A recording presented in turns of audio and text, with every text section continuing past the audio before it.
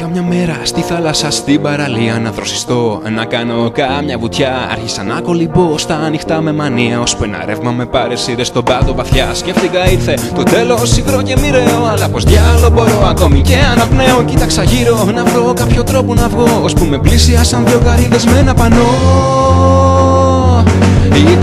ήταν σε γλώσσα που κανείς δεν έχει καλευκάνει. Μ' αναγνώρισε με μιας σε ένα σφυρί και τρεπάνι. Μου είπαν σύντροφε, καλώς ήρθε μες στον βυθόν. Στην κομμουνιστική ομοσπονδία του πλατών. Μαλάκας έμεινα όμως. Κοίταξα κάτω, είδα κακούλια διαδηλωτέ να κράζουν τον άκοση με του έθνου των ψαριών. Σκισμένε κουρέλια και δίπλα μαυροκόκκινες και ανάρχικα χέρια. Είπα δεν πέσει Μάρξ να διαβάζουν τα ψάρια. Μανάδιο το μη του κεφάλου στα καλαμάρια. Κάτι σου πιες να εξηγούν τι είπε ο Προυντών Και να μειούν στην ταξίδια τη διαφή των πλαντών Αυτά τα ψάρια δεν προορίζονταν για την πυρούνα Μα ζούσαν αυτοδύναμα μέσα στην κομμούνα. Είχαν τελειοποιήσει πράξη και θεωρία. Οργάνωναν αντάρτικο σε κάθε νιοδρία και έτσι γνώρισα που λες τα θαλάσσια συντρόφια. Δεν είχαν αρχικούς καραμαλίδες χριστόφια Μα είχαν χτίσει μια ίση υγρή κοινωνία.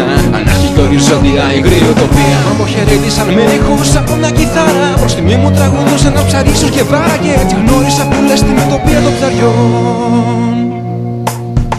Την κομμουνιστική ομοσπονδία των πλακτών